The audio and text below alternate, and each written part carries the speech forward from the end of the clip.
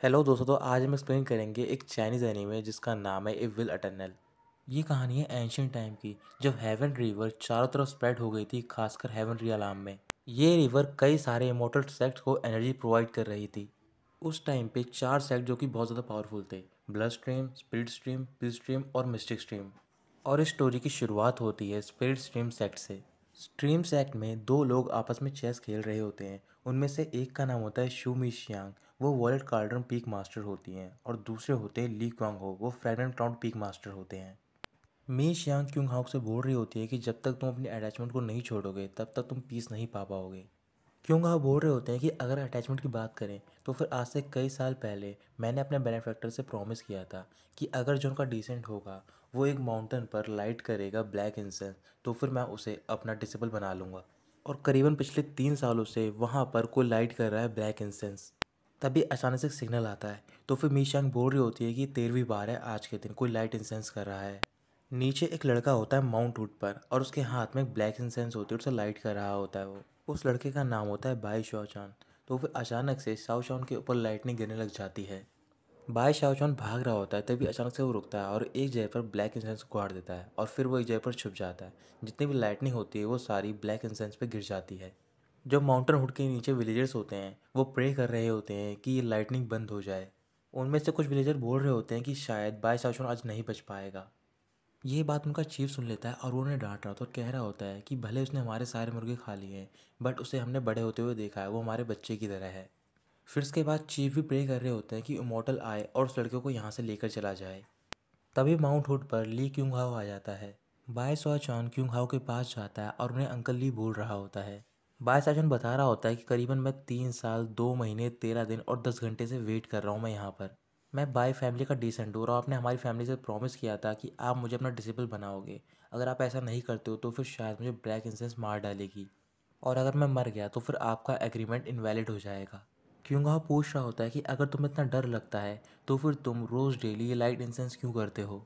फिर शाओ चान इमोशनल होने का प्रटेंड कर रहा होता है और बोल रहा होता है कि जो मेरे विलेजर्स हैं, वो ही मेरे रिलेटिव की तरह हैं। जब भी मैं लाइट इंसेंस करता हूँ तो फिर वो हमेशा सेंटिमेंटल हो जाते हैं और मुझे रोकने के लिए विश करते हैं। बट मैं सच में इमोटल की तरह कल्टीवेट करना चाहता हूँ। जो कल्टीवेटर्स होते हैं, वो इमोटल होते हैं और मैं भी हमेशा के लिए जीना चाहता हूँ। क्योंकि वह बोल रहा होता है कि अगर तुमने फैसला कर लिया है तो फिर मैं तुम्हें अपने साथ इमोटल सेट लेकर जाऊँगा। बाय शॉनी सुनकर खुश हो जाता है और बोल रहा होता है कि एक बार मैं अपने विलेज चीफ को मैसेज पहुँच चाहता हूँ कि मैं यहाँ से जा रहा हूँ, क्योंकि वो मेरी जुदाई का गम बर्दाश्त नहीं कर पाएँगे।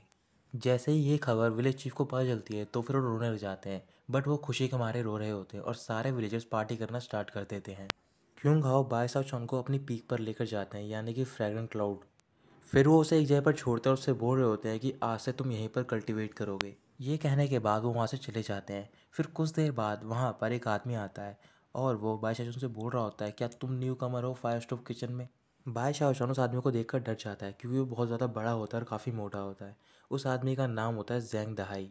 जैंग दहाई शाहजहान की तरफ़ देख रहा होता है और बोल रहा होता है कि तुम दिखने में तो ठीक हो बट बहुत ज़्यादा स्किनी हो। तभी वहाँ पर एक लड़का आता है और वो जांग दहाई से बोल रहा होता है कि मैंने तुमसे कितनी बार रिक्वेस्ट करी कि तुम मुझे अपने इस किचन में शामिल कर लो बट तुमने नहीं किया। और तुम किसी और लड़के को शामिल कर रहे हो? उस लड़के का नाम होता है शुभ बकाओई बाकाई बोल रहा होता है कि मैं कई सालों से स्पीड स्टोन सेव कर रहा हूँ, ताकि मैं किसी तरीके से तुम्हारे किचन का हिस्सा बन सकूँ। जांग दहाई को गुस्सा आ जाता है और वो बाकाई से बोल रहा होता है कि तुम्हारी गलती है कि तुम स्पैकर्स के ट्रैप में फंस गए हो। गुस्से में आकर बकॉय अपनी रिफाइन की स्वॉर्ड निकालता है और वो बाईसाउंड में हमला कर देता है। तभी जांग दहाई उसे बचा लेता है और वो बागोई से बोल रहा होता है कि तुम सिर्फ़ अभी सेकंड लेवल की चीपर हो और तुम मेरी टेरिटरी में आकर यहाँ पर सीन खड़ा करना चाहते हो। जांग दहाई बाकोई पर हमला करता है और उसकी नोज़ से ब्लड निकलना स्टार्ट हो जाता है।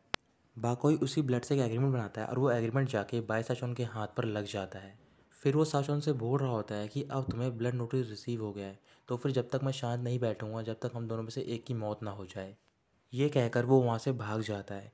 तो फिर जांग धाई बा साचौन के पास जाते हैं और उससे बोल रहे होते हैं कि तुम्हें डरने की कोई ज़रूरत नहीं है, ये सिर्फ़ एक ड्यूल चैलेंज है। जब तक तुम उस चैलेंज को एक्सेप्ट नहीं करोगे, तब तक तुम बिल्कुल ठीक रहोगे।